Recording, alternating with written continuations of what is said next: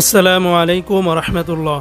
প্রিয় উমান প্রবাসী ভাইরা, যে যেখান থেকে এখনকার এই ভিডিওটি দেখতেছেন, আশা করি সকলে ভালো আছেন, সবাই ভালো থাকেন, সবসময় দোয়া করি।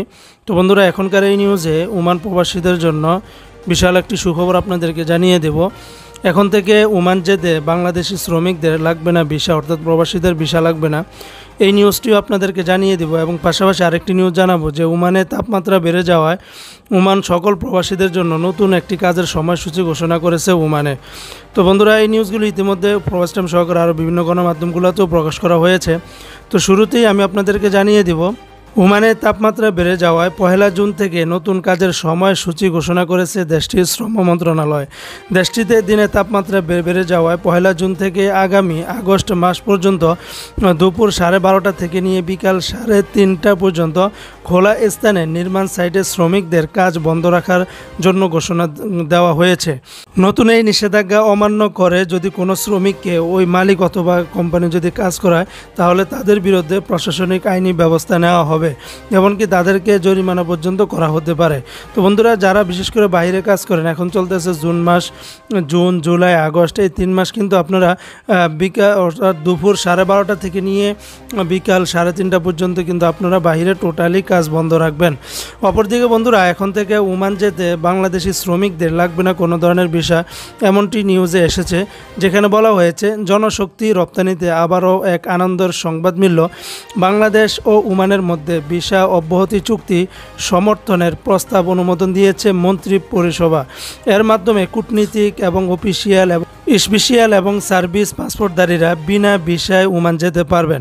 এছাড়া বাংলাদেশ থেকে শ্রমিকদেরও এখন থেকে ওমান যেতে আর কোনো ধরনের ভিসা লাগবে না। গত সোমবার, অর্থাৎ তিরিশে মে, প্রধানমন্ত্রী শেখ হাসিনার সভাপতিত্বে তার কার্যালয়ে অনুষ্ঠিত মন্ত্রিসভা বৈঠকে এই অনুমোদন দেওয়া হয়। বৈঠক শেষে বিকালে সচিবালয়ে এক ব্রিফিংয়ে মন্ত্রিপরিষদ সচিব খন্দকার আনোয়ারুল ইসলাম বলেন, প্রধানমন্ত্রীর কাছ থেকে ওমান কর্তৃপক্ষ জরুরি ভিত্তিতে একটা অ্যাপ্রুভাল নিয়ে চুক্তিটা সই করে ফেলেছিল। কিন্তু যেহেতু আন্তর্জাতিক চুক্তি মন্ত্রী পরিষদে আসতে হয়, সেজন্য ক্যাবিনেট আজ সেটা অনুমোদন দিয়েছে। মন্ত্রী পরিষদ সচিব আরও বলেন, কূটনীতিক এবং অফিসিয়াল এবং স্পেশাল এবং সার্ভিস পাসপোর্টধারীদের আমাদের যেসব লোকেরা ওমানে কাজ করতে যাবে, তাদের আর ভিসা লাগবে না। তবে বেড়ানোর জন্য সাধারণ লোকেরা যেতে চাইলে ভিসার প্রয়োজন হবে। যারা ওয়ার্কার তাদের ভিসা লাগবে না। তবে বাংলাদেশ থেকে কোন উপায়ে শ্রমিক উমান যাবে। এ ব্যাপারে এখনও কোনো ধরনের বিস্তারিত কোনো তথ্য পাওয়া যায়নি। তো বন্ধুরা, এই ছিল নিউজগুলা। তো এখন কথা হলো যে প্রবাসীদের ভিসা লাগবে না। এটা নিয়ে কিন্তু একটু খোলাসা করে বলা হয়নি। আসলে এখানে কোন ধরনের প্রবাসী বা তারা কি উপায়ে গেলে মানে কাদের মারফতে গেলে কোনো ধরনের কোনো ভিসা লাগবে না? এখানে তো মানে স্পষ্ট আকারে যেটা বলা হয়েছে যে, যারা কূটনীতিক এবং যারা অফিসিয়ালি লোক, যারা দূতাবাসের লোক এবং যারা স্পেশালভাবে ওখানে যাচ্ছে বিভিন্ন সরকারি কাজে কর্মে এবং এখানে বলা হয়েছে যে, সার্ভিস পাসপোর্টদারীদের, অর্থাৎ যারা এরকম প্রবাসী রয়েছে যারা ওখানে গিয়ে সার্ভিস দেবে। এটা আসলে স্পষ্ট আকারে বোঝানো হয় নাই যে মানে কোন ধরনের প্রবাসী?